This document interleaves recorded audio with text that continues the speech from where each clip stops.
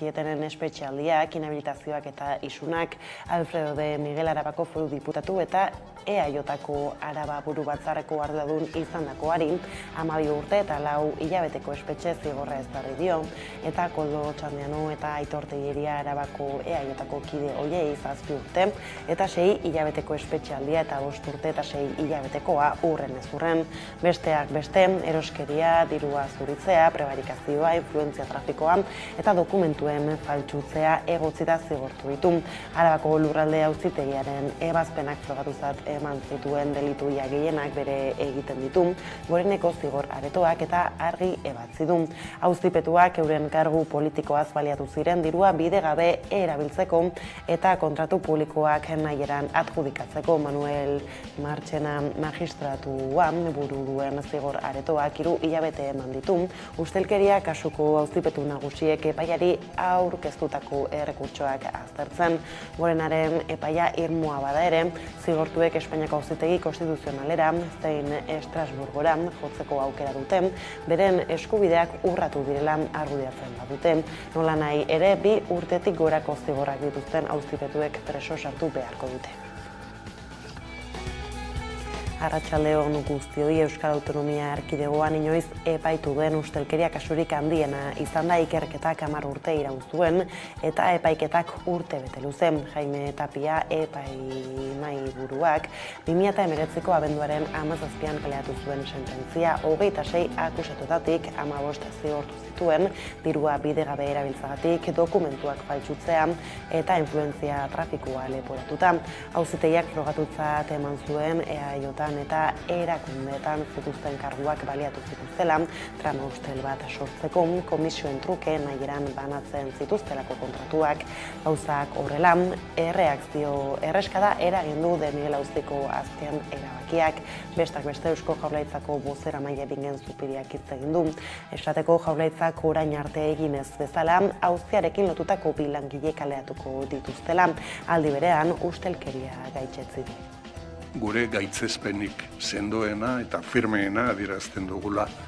Jaurlaritza bezala defendatzen ditugun balore etikoen eta ideologikoen kontrakoak diren gertakizun eta jarduera hauen aurrean oposizioaren kritika eragin du ebazpenak Euskal Herria bilduko bozera mai unai uruzunaren esanetan, eaiotak askoz irmoagoa izan behar luke, denire lauzian, haren irudiko gertatzen ari izenaz ez jabetzean, ulertzeko zaila. Baita, nabarmendu du salatzen ari zirenan, berretsi duela auzitegiak.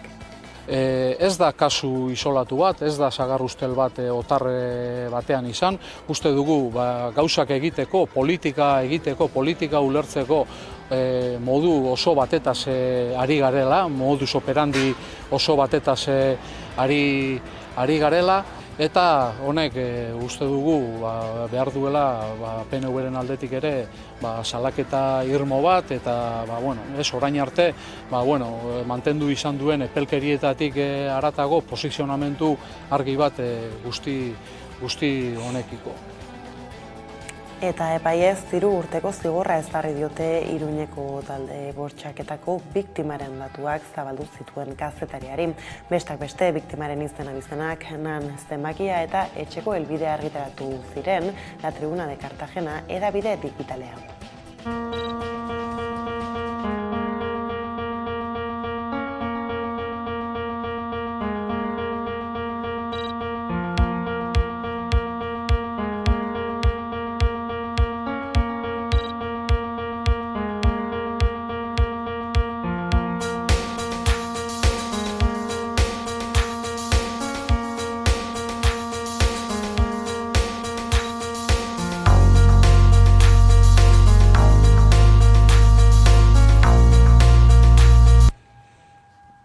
Bestaldetik, indarkeria matxista jasaten duten emakumei, arreta integralagoa eta pertsonalizatuagoa eman nahi die eusko jaurlaitzak eta horretarako alor horretan ikusia duten erakunden koordinazioa hobetu nahi du.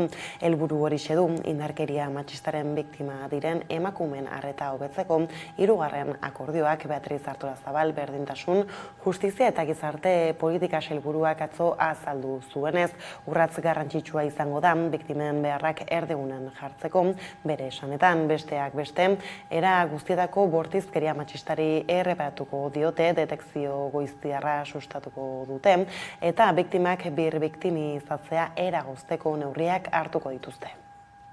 Akordioaren helburua da, tratu txarren eta sexu erasoen biktimen arretan implikatuta dauden erakundeen, erakundeen arteko koordinazioa areagotzea.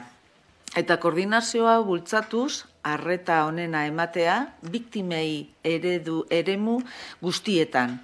Osasun arloan, segurtasunean, eremu judizial, sozialean, eta bar.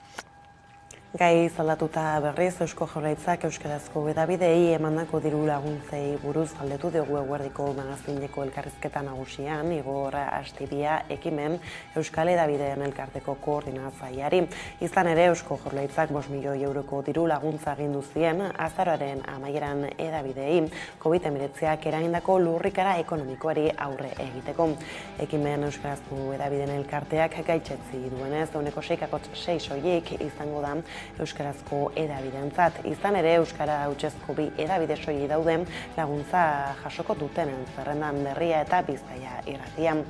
Bada diru laguntzak nabarmen handitu ezean euskarazko edabideak elkarrekin leian aritzera behartzen dituztela ohartarazi du astibiak eta eusko jaurlaitzari gogorarazi dio sektorea egun gortzea dela helburua. Azkenan hor dago gure erronka, ez? sortzen ari diren aukera edo bideo guztiak pixkate, arrisku bezala bizi beharren aukera bezala bizitzea eta bait, hori e, baliatzea e, bide berri horiek, ez?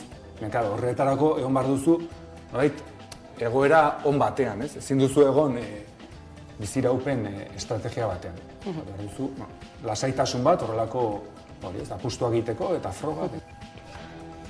froga. Bestaldetik ez da buzaldia 2008 urtearen amaieran iritsi zitzaien usan soloko herritarri. Espainiako estatuaren abokatutzak elegitea jarri dio usan soloren bere izketari Euskal Autonomia Arkidegoko auzitegi nagusiaren aurrean. Haren ustez, usan solok ez du bete zen Espainiako tokiko erregimenaren oinarrien legea. Horren arabera, beste udalerri batetik bere izten diren udalerri berriek, gutxienez 5 mila biztane izan behar baitituzten. Gauzak horrela, uneko egoera galdetu diogu gurean Monika Mena Usansolo herria plataformako kideari. Momentu honetan, Bizkaiko egun damairu garren udalerria gara, eta elegitea dela eta epaile batek kontrakoa esan arte, e, erabaki politiko gorena hogeta iruan hartu zen, eta gu Bizkaiko egun damairu garren udalerria gara. E, hemen dagoen foro araua gure prozesua bideratu duena eta bete behar duguna, betetzen dugula kompetentzia e, Bizkaiko foru aldundianena izan da, ez da gulertzen. Aldiz nazioartetik datozen albiste ison, Pablo González Euskal Kastetariak espetxan jarraituko du Polonian, espetxaldea luzatzeko erabakiaren aurka elegita jarri zuenaren abokatu Gonzalo Goiek, baina atzo Poloniako apelazio auzitegiak ebatzi zuen elegite hori bastertzean, eta beraz Gonzálezek espetxean jarraituko du. Entzun jarraian oiana goiriena Polonian atxilo den Gonzálezen bikotekidea. Pero gu, eh, paiketarako fetxie, eltzie, zikeran be, eta gero e, otzaien eukiko duen e, pistarako edo guk espero dugu e, espetxialdize luzetzeko baldintzak edo argumentu, e, fiskalak aurkibideusen argumentuek e, gogortzie. Hau da, berak froga gehiago aurkeztu bihar izetie justifikateko, espetxialdizen luzapena justifikateko. Italiak are gehiago gogortu ditu itsasoko guretan migranteak erreskatatzeko baldintzak aurrerantzean ontziek portu seguru bat eskatu eta arantzon abiatu beharko dute erreskate bat egin eta berehala atzerapenik gabe. Ez izango dute itsasoan zain geratu nora eztean edo laguntza behar duen beste enbarkaziorik ikusten dute duten zelatan. Arau horiek betetzen ez dituzten kapitainek berrogeita mar mila eurorainoko isunak jasotzeko arriskoa izango dute eta araua behin baino gehiagotan hautsiko balute, ontzia enbargatua izateko arriskua izan dezakete, beste neurri batzuen artean, egoera ala izazkun arrearan aitamari ontziko voluntarioarekin egin du konexioa lehen, egoera sakonago ezagutzeko. Iezan e, komunikazio zona dago, erakunde ezberdin eta itxasuntzi ezberdinen artean, denon buruan dago ateratzea, ateratzea eta erreskate lanetan e, jarraitzea, Eta hori da gure asmoa bai, e, prestaketa lanetan gabiz, e, urtarria aste honetan ja tripulazioa itxasontzira aita marira joango da, prestaketa lan guztietan hasteko eta bueno, ba, beti bezala misio bat e, aurretik ba, prestakuntza lan guztiak eta horrez eskatuko litzake despatxoa eta prozesu guztia ez litzake e, erreskate lanetara ateratzeko asmoekin. Eta nazioarteko kontuak aipatuta gurera hueltan iritsi da txotx denboraldia, oi moduan gaur astegarragan eman diote hasieran eta bi urteren ondotik berriz ere zutik dastatu izango da sagardo berria. Egoerak behartuta bestalde uneko hogeita usteko egoera izango du bataz beste sagardo botiak 2008 iruan. 2008 biko guzta eskasa izan zela dirazi dukute denboraldiaren irekieran, baina izaera handiko sagarra etorri dela ere, bai tantino, bai azukre aldetik aurten bi faktore oso garrantzitsu egon direla, bat izango litzake e, bueno, udaran eta ez udaran bakarrik izan dugun lehortea. Eta bestetik gan, usta, usta txikia ez, en, bi urtean behin izaten dugun e, usta txikia. Sagar gutxiago en, alimentatu ditu eta konzentrazio altuago izango da, sagar bakoitzean horrek garriko duna da, kolore gehiago, tanino gehiago, gorpuz gehiago, Baina, bueno, alde positibo bezala, en, denboran egon izango diren en, sagardoa. Eta eguneko lerro gurekin bukatzeko igande honetan urtarriak amabost urte eta kokatazkak preso eta senidengan utzitako eta oraindik gainean duten zamadon zarintzeko jaialdia ospatuko da etxarri aranazen nogen tatzer sedota kerobia taldeak egongo dira etxarriko sarek senide eta lagunek antolatutako elkartasun jaialdian Mikel Mundinano zamadon juz harinduko antolatzaia. Bueno, zortzigarren e, urtez jarraian izango da urten ere zamadon juz harindu etxarra eranatzen ospatzen den e, jaialdi bat, nola ere, salbuzpen politika honek sortarazten duen zama guzti hori, doinu bidez, harintzeko ariketa bat izanen da. Azken batean, igande honetan etxarra eranazko kulturetxean izango duguna, eta hortaz, ba, bueno, jende guztia orain sarrera badaude eta jende guztia animatu nahiko genuke orain dikan, ba, bere ekarpena egiteko eta igandean denok etxarrin, ba, ratotxo goixo bat pasatzeko, aldarrikapenez betetako rato goixo bat, Bada azte azkeneko gulerro buruak aipatuta, iritsi da eguneko argazkari heltzeko unea jaurlaitzak iragarri dun de Miguel Auziarekin lotutako bi langile kaleratuko dituztela. Horrez gain, mingen zupiria lakuako bozera maileak de Miguel Auzian frogatutako ustilkeria gaitxetzi du, eta Euskal Herria Bilduk eaiotari eskatu dio Auziari dagokionez askoz irmoago aritzeko ikusi.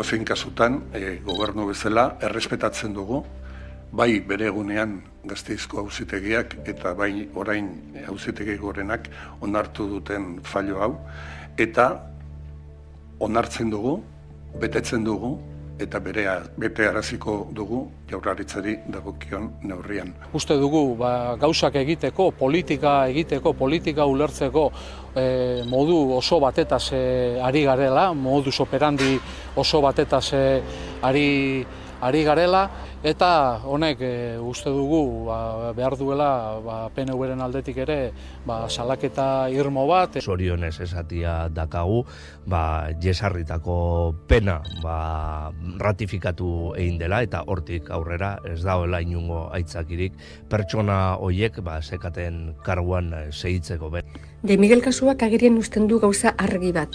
Euskadin badaudela espazio instituzionalak lagunkeritan ibiltzeko eta eta honekin batera ustelkerirako.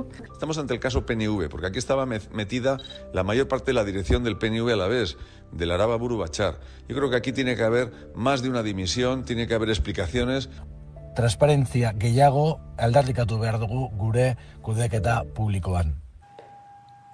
Bestaldetik, ekonomia arlora salto, pentsioa dina irurogeita lau urtera handitzea proposatu du Frantziako gobernuak zehazki 2008 mar arte progresiboki handituko dute adina, eta pentsiosoa eskuratzeko berrogeita iru urtez lan egin beharko da.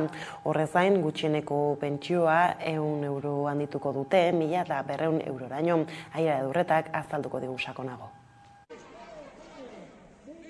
Pentsio reformaren kontrako protestak itzuliko dira Ipar Euskal Herrira, izan ere Macronen gobernuak erretiro hartzeko adina irugeta urtera igotzea proposatu du, eta pentsio osoa jasotzeko berrogeta iru urtez kotizatzea. Horren aurka egiteko Frantziako sortzi sindikatu nagusiek grebara daitu dute hilaren emeretzirako. Elizabeth Bornele ministroak aurkeztu zuen proiektuak langilei kalte egiten dietela uste dute lanusteren editzaileek. Nous l'avons dit, nous voulons préserver notre système de retraite par répartition c'est-à-dire un système où ceux qui travaillent financent les pensions des retraités. C'est pour le préserver que des majorités de droite comme de gauche ont mené des réformes ces dernières années. Et c'est pour le préserver que nous devons le faire évoluer. Protestak lurralde osoan egingo direla iragarri dute Frantziako sindikatutako ordezkariek. Horrela pentsatzekoa da Ipar Euskal Herrian ere egingo direla eta han izango dela lab. Sindikatuek ez ezik alderdiek ere mobilizazioak aurreikusita dituzte Parisko gobernuaren pentsio erreformen aurkako posizioa erakusteko. Bien bitartean eskuina gustura saldu da uste baitu Frantziako gobernuak haien eskaerak erantzun dituela. Beste alderdiak aurka daudenez haien botoa beharrezkoa da erreformak aurrera egin dezan. Petronorreko langile batzordeak mobilizazio egutegi beharri abiatu du 2019an iraungitako lan hitzarmenaren negoziazioan presioa egiteko. Asteko hiru orduko lan usta egin dute gaur eta langile batzordeak positiboki baloratu du mobilizazioa. Bertan izan da aiara durreta lankidea. Petronorreko langile batzordeak mobilizazio egutegi berri abiatu du 2019an iraungitako lan hitzarmenaren negoziazioan eragiteko. Ez dugu lortzen akordorik entrepesarekin, e, dute hitz egiten nahi gurekin, bueno, biltzen gara, baina ez... Duela sortzi hilabete hasi zituzten negoziazioak enpresarekin eta dagoneko amabi bilera egin dituzte, baina ez ere gelditu dira. Ala, hiru urte daramatzate itun aberritu barik eta hori delata soldatak izoztuta dituzte horrutik. Bueno, txarto, e, soldata kongelatuta dago, ez daukagu koberturik, e, orduan e, normalean ezin dugu eskatu egunak disfrutatzeko eta gainera amabi ordu askotan e, sartzen dugu hemen lanean. Eta hori, bueno, gu daukagu goizez, garratzaldez eta gauez batzuk, ez? Lanean, eta gainera, amabi ordu, hori oso gorra da. Bien bitartean berriz, Petronorrek gero eta irabazi gehiago dituela kritikatu dute. Gero eta beneficio gehiago dauka, eta hori eta ez duen konpartitu gurekin, gure lanki, zuren beren langirekin. Egoera horretaz nekatuta daude langileak eta gogoratu dute gainera 2008 batean enpresak enplegua aldi baterako erregulatzeko espedientea esarri zuela. Horrez gain ohartarazi dutenez lankargak handitzen doazen bitartean plantilla txikitzen doa. Langilea gaude justu, justu. Nekatuta gaude, ja, e, urte komenu barik, eta soldata kongelatuta, eta lan egiten gehiago, ordu gehiago, eta hori, ba, imaginazu, esmazazu, ez da egoera, egoera ona, guretzak. Bestalde, beste behin ere, Petronorrek grebarako eskubidea urratu duela nabarmendu du langile batzordeak txandaka jarruten dute eta lan uste egiten den tartean, lan egitea egokitzen zaien behargien euneko larogeta amabostak ezin du greba egin. Eta itzarmenez, meretzi greba egunen ostean akordiora iritsi dira Gipuzkoako arropa dendetako langileak eta patronala. Gaur sinatuko dute itzarmena arratsaldeko ordu bietan, eta 2000 eta marretik 2000 goita bestarako indarraldia izango du.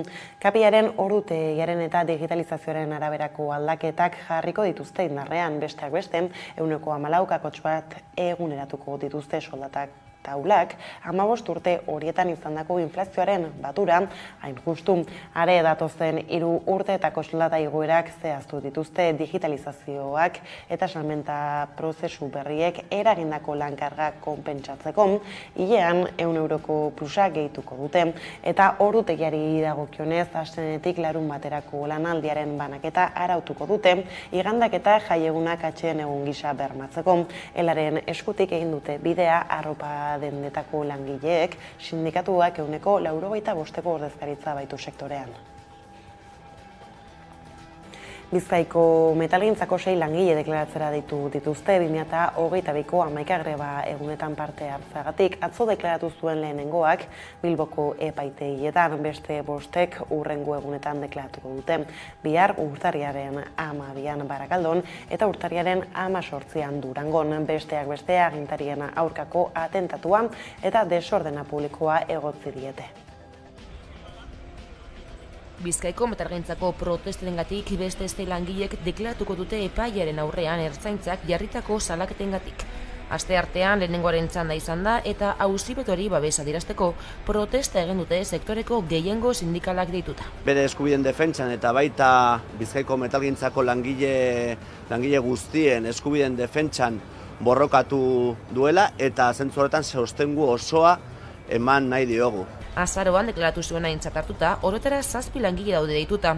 Hala sindikatuek kritikatu dutenez, grebak kriminalizatzen ditu jaurlaitzak eta ertzaintzak impunitate osoz diardu erabaki politiko batengatik. Erabaki politiko horren helburua da e, edozein langile e, borroka kriminalizatzea, eta ba, zentzu horretan PNV eta enplegu zaiari eskatzen dioguna da e, alde batetik bertan bera ustea dauden imputazio salaketa eta izun, guzti, izun guztiak eta ez e, e, eltzea e, gehiago.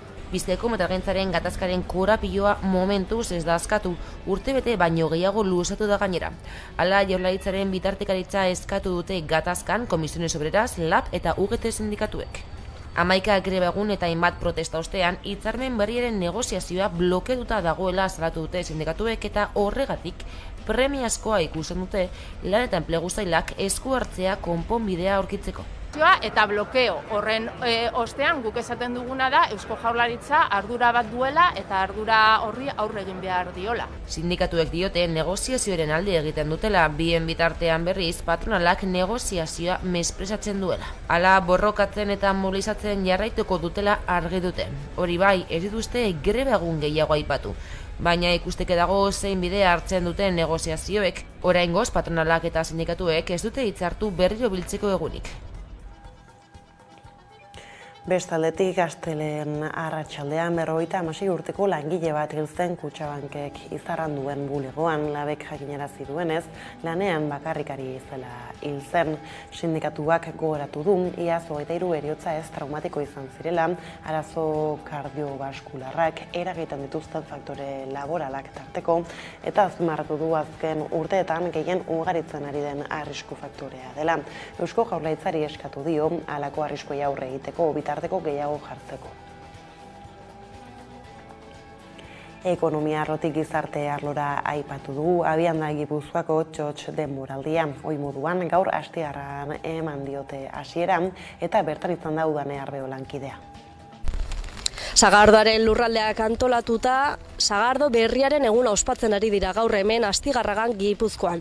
2000 eta hogeita iruko txot demoraldi berriari hasiera emateko. Iazko uzarekin alderatuta urtengoa nahiko eskasa izan da izan ere iaz, bost milioi kilo sagar bildu zituzten eta usta horrekin, irukoma bost milioi litro sagardo ekoiztu zituzten aurten aldiz, bat koma bi milioi litro sagardo egin dituzte. Testu inguru honetan, oiana gantzerain sagardo, euskal sagardoa jatorri deiturako lendakariak azaldu duenez aurten izera handiko sagarra etorri da baita nino aldetik baita azukre aldetik ere. Beraz esan bezala aste honetan ateak irakiko dituzte Gipuzkoako Bizkaiko eta Arabako sagardotegiek.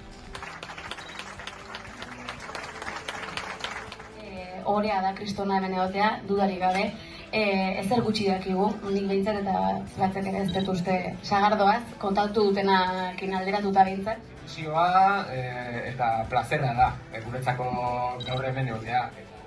Jon plaza holak zuaiz luze bat, alda dezala mesedez, ta aitzi berrek bonsai txiki bat, nahikoa leukake berez.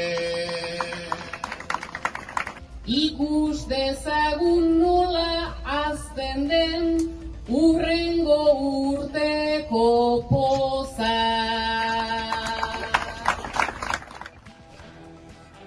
Aldiz biharko egunarekin ekingo zaio sagardo denboraldiari araban eta Paul Urkijo film zuzendariak emango dio hasiera Trebiñuko sagardotegia. Gabonen ostean eta urtarrilaren bigarren astetik aurrera zabalik izango da Arabako zagardotegien denboraldia. 2008an Arabako hiru zagardotegi nagusiek, hau da, Aramaioko iturrieta zagardotegiak, Azkartzako trebinu zagardotegiak eta kuartango zagardotegiak, irurogei mila litro zagardo eta zagar zuku inguru ekoitzi dituzte. Zagarra iraietik urrira bitartean bildu hoi da, baina aurten lehortearen eraginez bilketa aurreratu behar izan dute.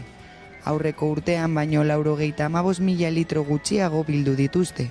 Hala ere, zagardo gile arabarrek nabarmendu dute aurtengo zagarren kalitatea. La verdad es que la cosecha no ha sido tan mala como pensábamos en un principio. Vaya, al final hemos recogido una cosecha bastante baja. El mandado da un año mucho y otro baja, ¿no? Este año se, ha repetido otra vez la cosecha y pues está muy rica. Tiene un poquito más de grado de alcohol, pero aún así tiene unos aromas perfectos y yo creo que el color es muy bajito, muy bonito y creo que se va a poder beber muy fácilmente. Ekitaldi berezia antolatu dute denboraldiari hasiera emateko, eta horretarako zinemari eta kulturari keinu bat egin diete. Irati filmaren taldea izango da gonbidatu nagusia. Paul Urkijok eta bere taldeak arabako zagardoaren denboraldia abiarazteko ardura izango dute. Gauza korrela neurri murriztailerik gabeko lehenengo denboraldia izango da. 2008an martzoan gelditu zen pandemiagatik, 2008 batean soilik eguerdian irekitzeko baimena zuten zagardotegiek eta hainbat neurri bete behar zituzten. Eta 2008an denboraldia erabat baldintzatuta zegoen. Beraz, adi izango gara bihar arabar sagarduaren denboraldira. Helenago, baina kultura arloarekin lotuta badugu zer aipatu. Kultur sektorerako langabezia sari berezia onartu du Madriek, sortzaileek, zein teknikariek langabezia jasotzeko egun gutxiago kotizatzea eta pentsioa eta sormen jardunari loturiko ordaina aldi berean kobratzeko aukera onartu ditu. Besteak beste, Espainiako gobernuak lan artea hotz agertu da.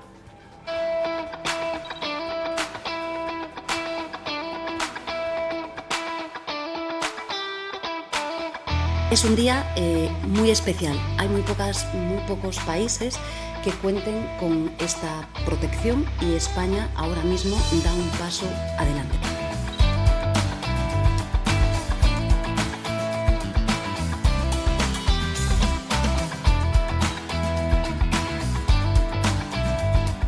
Y las protagonistas son las gentes trabajadoras de la cultura. Llevan muchísimos años. Las normas que estamos modificando traen causa de una norma del 85, eh, por tanto, llevan muchísimos años movilizándose y reivindicando lo que hoy eh, aprobamos en el Consejo de Ministros y creo que el día es mm, para ellos y para ellas.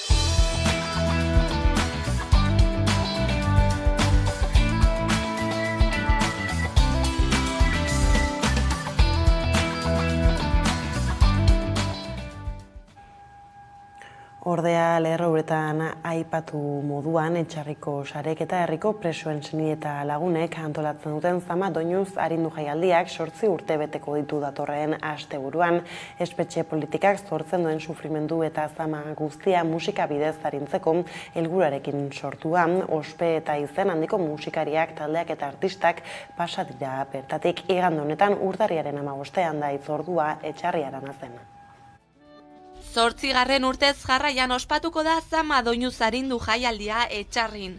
Urteetako gatazkak preso eta senidengan utzitako eta oraindik gainean duten zama doinu zarintzeko ariketa finean.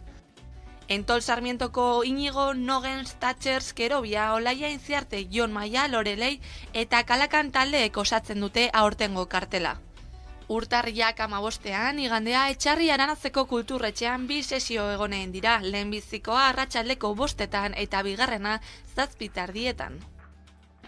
Berriz ere, Euskal Herriko hainbat abeslarik bere ekarpen egingo diote e, zama doinuz arindu jaialdiari eta gurean izango dira, ba, gurekin batera doinuz aldarrikatzen eta doinuz esanaz salbuespen eurriekin amaitu behar dugula eta presoen etxeratze prozesu hori balen bailen e, Dagoeneko Euskal Herrian urte hasierako ekimen erreferentzial bihurtu da etxarriko sarek eta senideta lagunek antolatzen duten elkartasun jaialdia. Zazpi urte hauetan berrogeita masei abeslari pasa baitira etxarriko agertokitik. Izan ere, 2000 bosteun bizaleko herri txikian datu adierazgarria bada azkeneko berrogeita zazpi urteetan, ama bost hilabete soilik egon dela herria preso edo ieslaririk gabe gatazkak herria gordin joduenaren seinale, egun ere oraindik lau preso ditu etxarriko herriak. Beraz, urte bat gehiago zama doinu zarintzeko beharrean. Sarrerak amaboste eurotan eskuratzeko aukera da sapatero edo lekuona tabernetan herrian bertan edo eta internet bitartez etxarriko udaletxeko webgunean. Eta eguneko berriekin bukatzeko musikaz ere gazteizko txosnek banda lehiaketaren edizio berrian izen emateko epea zabaldu duten ere agartia.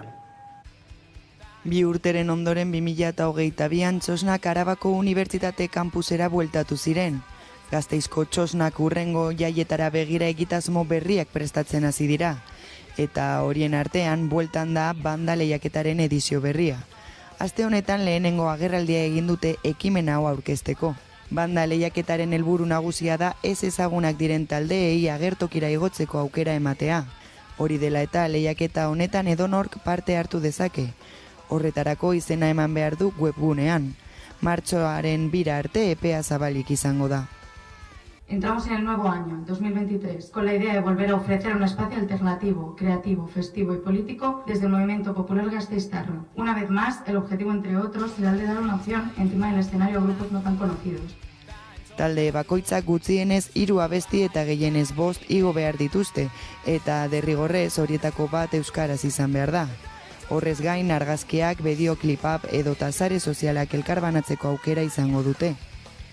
Lehenengo prozesu honen ondoren sortzi talde zailkatuko dira, eta martxoaren bederatzitik emeretzira bosketa fasea irekiko da.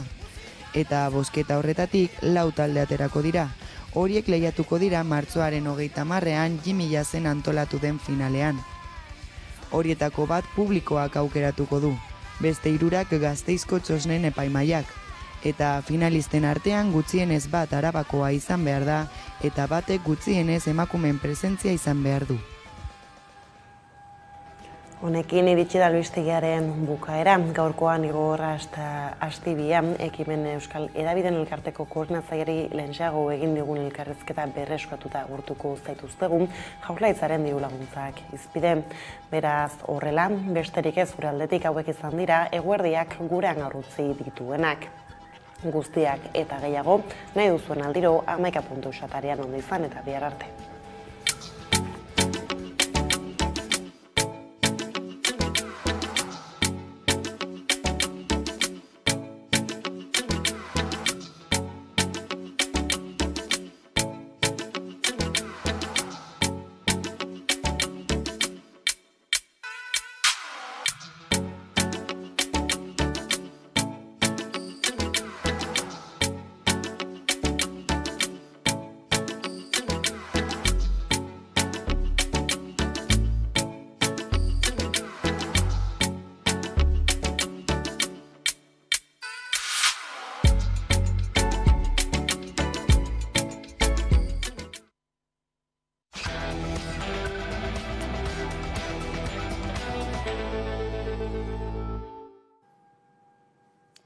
Egunero legez, eguneko elkarrizketari atea irekiko diogu, eta horretarako gaurkoan gurekin daukagu, ekimen elkarteko koordinatzailea den Igor Astibia, eguardion, ongi etorri. Bueno, Eusko Jaurlaritzak Euskarazko edabidei berriki emandako diru laguntzei buruz eh, hitz egingo dugu elkarrizketa honetan zehar e, eta orokorretik eh, hasiko gara, ez? Ezen bat diru banatu da eta non gelditzen dira e, guzti honetan Euskarazko edabideak? Bueno, hor, badaude bi, orain arte da deialdi orokor bat, Euskarazko edabidentzako, e, iru urterako deialdia dena, eta berriki argitaratu da ebazpena, baina horrekin batera e, argitaratu da ere COVID laguntzen e, ebazpena, bai? Piskat bi, bi hoiek e, daude gorain momentuetan mai gainean.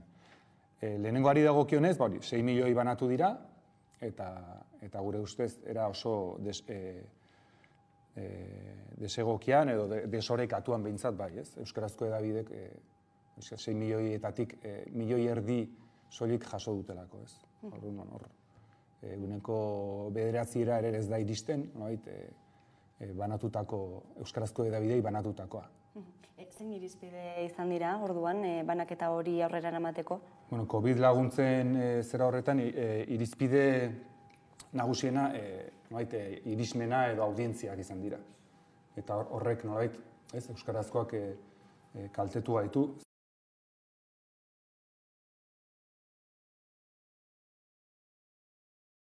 ezberdinak dira, ez? Orduan, baite, zaku berean sartu gaituzte eta orduan, eskate, kaltetuta ateratzen gara, ba, beste batzuen aldean, ez? Hmm. E, ez hori bakarrik, ez, e, audientziak e, neurtzeko moduan ere badaude e, ba, batzuk, ez, e, agian berrikusi beharko liratekenak, aldaketa prozesu batean e, daudelako edabideak, eta e, adibide konkretu bat jartzeagatik, eta hemen gauden ez amaika telebistan ere esaterako, ez da, e, ba, azken orten e, esportzu bat egiten ari gara, e, esaterako e, arabako egoitza e, ba, martxan jarri dugu aurten, edapena egin dugu, baina gauza bitxia gertatu da, eta aurten esaterako, ba, diru laguntzarik gabe geratu dela, ez? Zein nolako azalpenak e, egon daitezke honen atzean? Bai, hori dagokio bigarren e, deialdi horri, bai? Euskarazko komunikabideen e, diru laguntza deialdiari.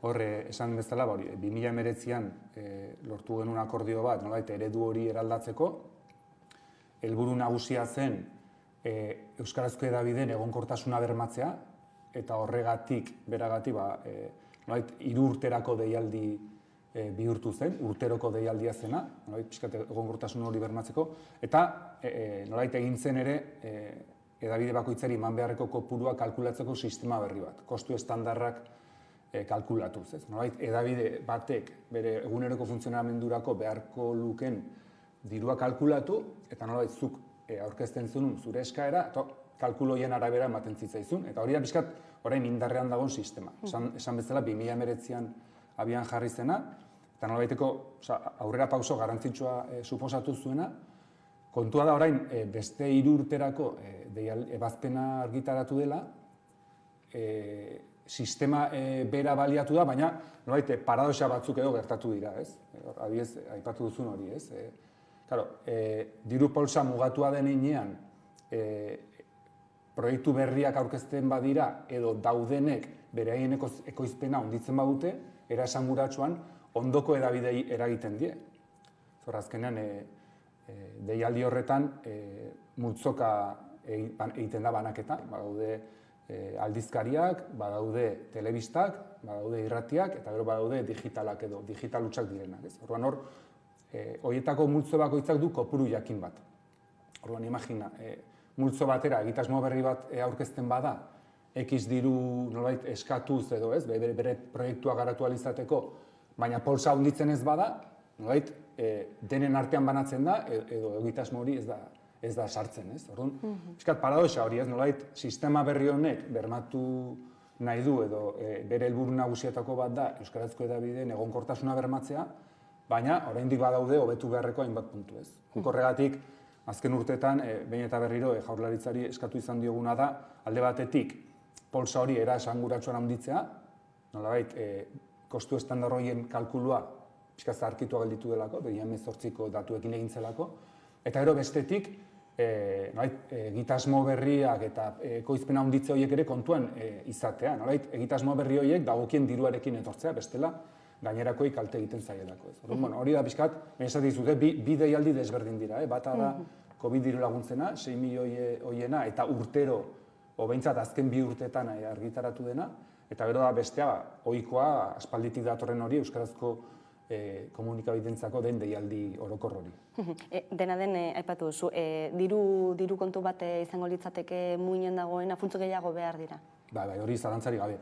Gainera, ez dut beste faktore bat aipatu. E, kostu estandaren azterketa hori, 2018 emeritziko datuekin egintzen, hortaz, jada nola izarkitua geratu da, eta bere garaian, ja, 2000 an etzen bermatu, nolait, e, akordioak edo esaten zuen ezen, nolait, edabide bakoitzaren aurrekontuaren edo gastuaren euneko goita maost, nolait, e, e, administrazioak estaliko zuela, ez? Hori, oraindik ere ez da bermatu, ba, kontua da, azken urteotan, e, edabide baten eguneroko lanerako e, e, sortzen diren hainbat gastu e, izugarri garestitu direla. Ez? Papera dela, argindarra dela, e, erregaiak direla, ez? Hor, e, gastu hori handitzen doa, baina nolait, gure kostu estandaren kalkulo hori ez da, ez da maila berean handitu, ez? Egia da, eguneko bosteko azkunde izan duela polsa horrek, e, Euskarazko edabideen polsak, baina noski, eguneko bost hori oso urrun geratu da, oso urrun dago oraindik e, behar, benetako beharretatik. E, aipatu duzu funtze ba, finkoa dela, orain artekoa, eta horrek ba, ondorio batzuk e, dakartzala ez, esaterako ba, aipatu duguna, e, ba, edatzeko momentuan, edo eta proiektu berriak aurkezteko momentuan, ba, e, era positibotzat hartu beharrean, ba, nola baiteko beste kutsu bate hartu dezakeela gauzak, e, eta gero baita ere aipatu duzu ez, e, Euskal Edabideen arteko lehiak ere zorrarazten dituela honek. Ba, hori da, e, bizkat, 2008ko sistema berri honek ekidi nahi zuen beste gaietako bat, ez? Osa, egonkortasuna bermatu nahi da, baina berean ere, bizkat, Euskarazko edabideen arteko lehia hori gainditu nahi da, ez? Osa, nolait, ezin dugu egon, ez? Elkarri begira honi e, gehiago eman dute, honi gutxiago, nolait, helburua baldin bada, e, edabideen egonkortasun hori eta e, e, iraupen edo garapen hori bermatzea, nolait, lehia horretatik e, lehia hori gaindituko luketen formula biatu beharko lirateke, ez? Mm -hmm. nolabait hori lortu zen e, pons, polsa era esanguratsuan ondituz, ez? Hainbat milioi gehiago jarriz polsan, orduan hor, bueno, azkenean hor egon zen lehenengo salto bat, baina egia da orain, e, hori ez, hogeita bi, hogeita iru, hogeita lauroko deialdi honetan ez dela egon polsaren e, handitze esanguratsu hori eta berriro ere gaudela, hori ez, paradoxa hoien gatik, ez? Ba, batzuk e, beren ekoizpena asko handitu dutelako edo egitasmo berria daudelako, ba, batzuk aurreko hiru urtekoan baino gutxiago jaso dute. Eta hori, oza, hori horrela ezin dugu, ezin ditugu e, edabidak egonkortu, ez? bueno, esan dakoa, e, bere garaian, e, nolait, pauso garantzitsu bat eman zen, e, sistema berri honekin, baina baditu hobetu beharreko hainbat puntu. Hori da, bizkat, elkartetik egiten dugun e, esaterako e, ba, diru laguntza horiek jasotzeko irizpideak aldatu beharko lirateke ekimenen ustez?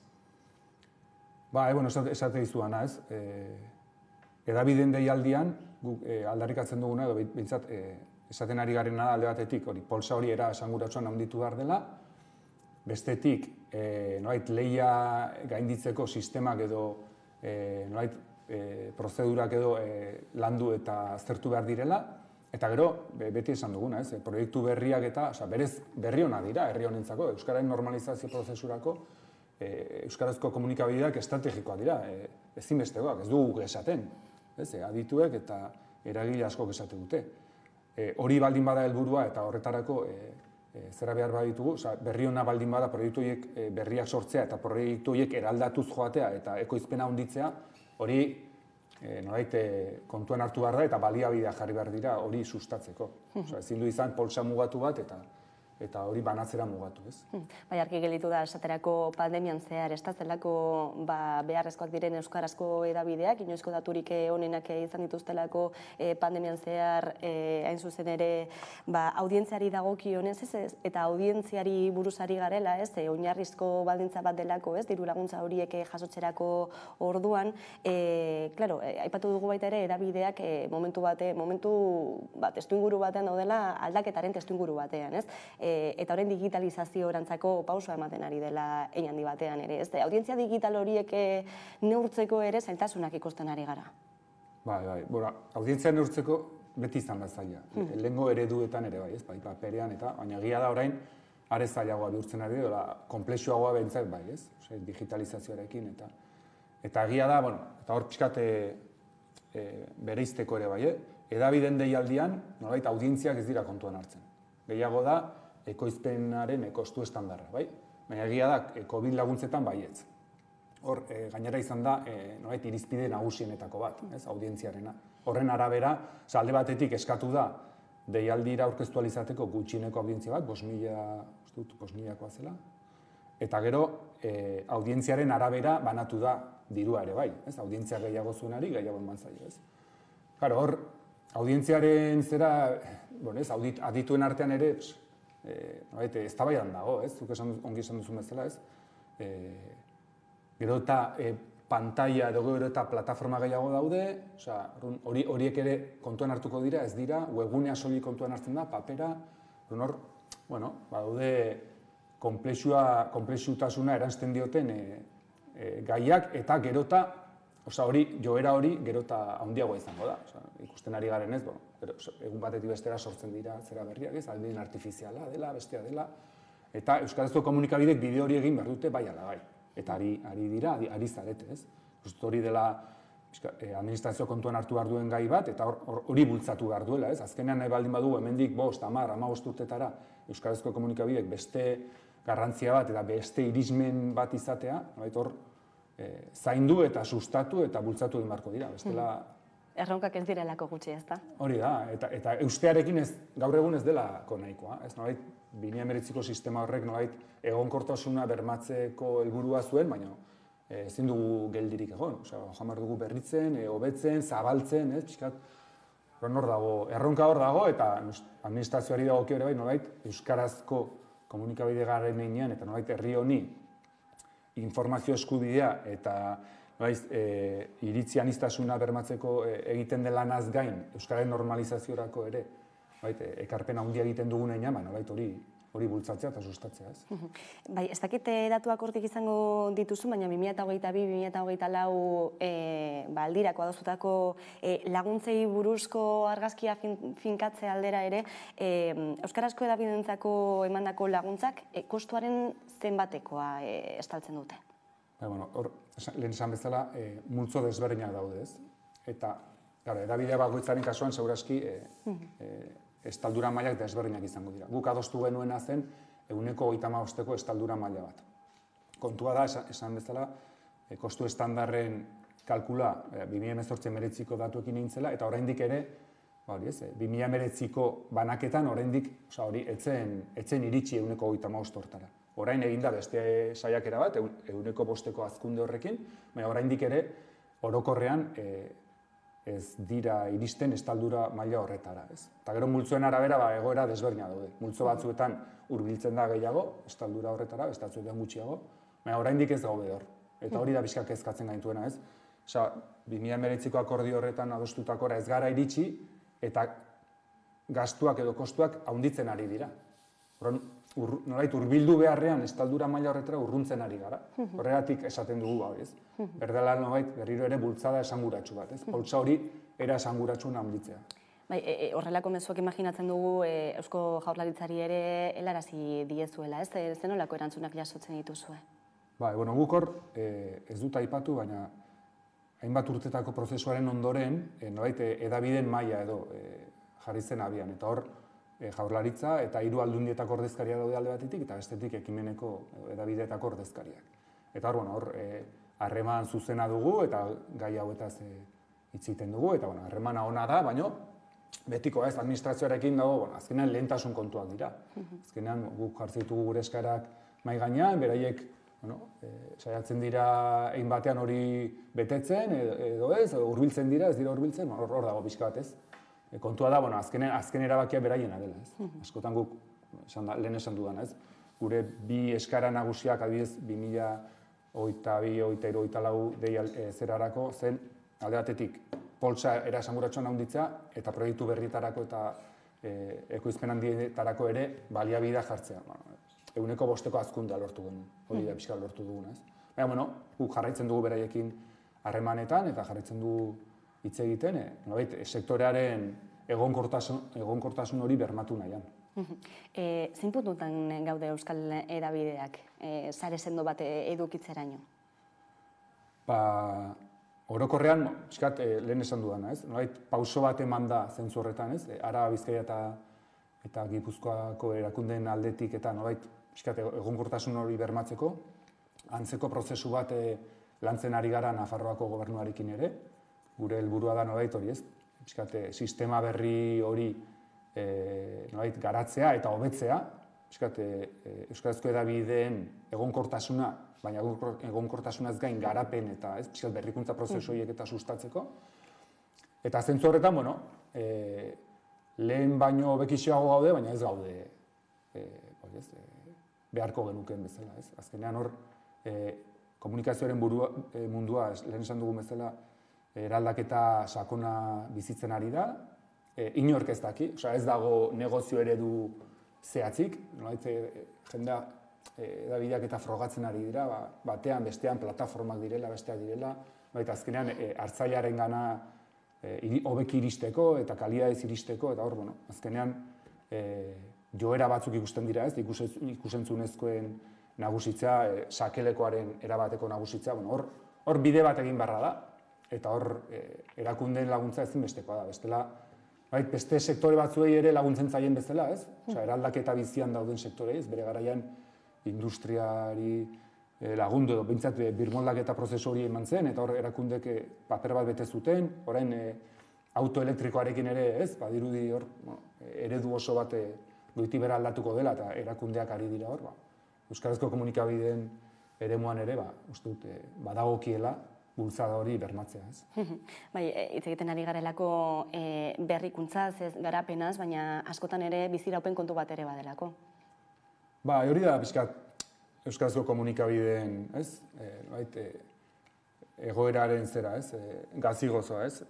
E, noait, e, biziraupen ekonomia batera ohitu garela, ez? Azkenean, bueno, e, gure e, unibersoa dena da, eta nolait, e, herri ekimenetik ez, gehien gehienak, Euskarazko edari gehien gehienak, herri ekimenetik sortutakoa dira, hori da gure indargunea ere bai, ez? Nolait, e, badugu komunitate oso leial eta eta implikatua, eta horren nolait bultzada handia eman digu, onaino, onaino iritsi gara, baina egia da, hori, erronkak handiak direla, eta berrikuntza mailan eta gauza erakargarriak egin nahi ditugu, e, hartzaileen gana hartzaile berrien gan eritxi nahi badu, gaztein, gaztekin, ez? Ari gara, osea, ez, e, edabide guztiak ari dira. E, zerbaitetan, saiatzen bestean batean eta bestean, baina hori, baite, bultzatu inbar da. Ezin duguna da, zuk esan duzuna, ez? Biziraupen zera horretan egon, jo, ez, ezin dut froga hori egin, zeren hori egiten badut, e, ez, ez dut bermatua urrengo hilabeteko. Hori, hori ezin da, gaur egun hori guretzako sekulako atzera pausua ditzake. Behar dugu frogatu, behar ditugu gauza berriak eskaini eta eta horretarako behar dugu babesa. E, beste babes mota batzuk ere bilatzen hasiak gara e, dagoeneko, ez? Azken urteotan e, e, arpidetzak esaterako. Ba, hori da, bueno, hori da pixkat e, Euskarazko komunikabideen indargunetako bat, ez? Pixkat, e, Euskal Herritik kanpora jotze duzunean eta ikuste dituzu hainbat edabide hori e, lantzen eta ari direla eta komunitatea eta bueno, guk gu egia da hortik sortu ginela, eta horren badugu abantai hori, baina, baina hori ere ez da betirako. Hori ere, pixkate, mai gaina jarri behar da, ez? Noait, hori landu behar da, eta zaindu behar da, eta eta mimatu behar da, ez? Eta, bueno, uste dut hori denok ari zaretela horretan, eta baina, printzipioz, hori, pixkat, gure indargune hori ere, ez zaindu behar dugu, eta sakondu eta zabaldu, ez? e, aurrera begira zen nolako aurrekuspenak egingo zen dituzke? Zaila da, ez? Komunikazioaren munduan aurrekuspenak egitea, e, egunero dago berriren bat, ez? E, adimen artifizialarekin, e, bata best, gauza dela, ez e, itzulpen neuronala, bueno, oso eremu aldakorra da eta bizia da, eta, eta nolait, errepikakorra izango naiz, baina azkenean hor dago gure erronka, ez? Nolait, sortzen ari diren aukera edo bideo guztiak, pixkate, arrisku bezala bizi beharren aukera bezala bizitzea, eta nolait, hori e, baliatzea e, bide berri horiek, ez? Baina, horretarako egon bar duzu, nolait, egoera on batean, ez? Ezin duzu egon e, biziraupen e, estrategia batean. Mhm. Behar duzu, bueno, lasaitasun bat horrelako hori, ez, apustua egiteko eta frogak eta, eta horretarako lanean jarrituko duzu, ez da. Hori da, hori da gure gure lana, euskarazko komunikabide horretan laguntzea eta saiatuko gara bintzat. Ba, Igor Astibia, ekimen elkarteko kidea, ezkerrik asko gaurkoan, amaika telebistara gerturatzeagatik. Ezkerrik asko zuei.